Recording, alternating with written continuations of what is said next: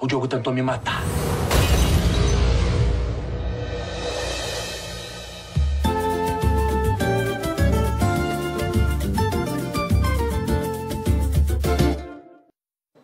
Olá, boa noite. Eu sou Ellen Ferreira, de Roraima. Eu sou o Fábio William, de Brasília. Hoje vamos apresentar as notícias do Brasil e do mundo aqui desta bancada. Esse rodízio de fim de semana faz parte do projeto dos 50 anos do JN. Veja os destaques. A Polícia de Minas tenta descobrir o que causou o incêndio na capela tombada de Santa Rita, em Diamantina. Ciência para a saúde. Pesquisadores do interior de São Paulo desenvolvem uma tecnologia para diminuir o tamanho dos comprimidos. No Rock in Rio, furacão Anitta.